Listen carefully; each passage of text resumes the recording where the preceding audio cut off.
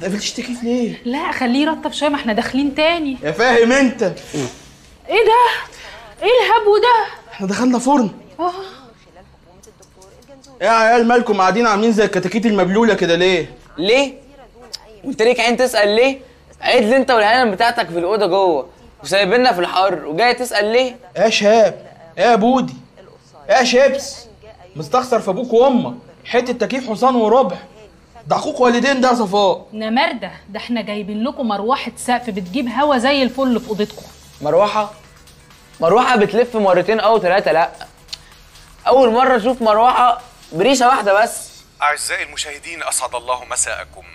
دخلت جمهورية مصر العربية في موجة حارة هي الأطول والأقوى في البلاد حيث تصل درجات الحرارة إلى 50 درجة مئوية.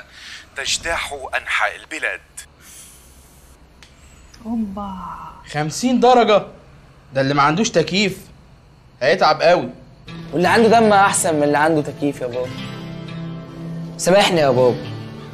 بس أنا مش هعيش في الحر والتلزيق ده لوحدي. والله وبان معدنك يا يا شهاب. وبما إن الناس معادن فأنا مش هنصهر لوحدي يا بابا.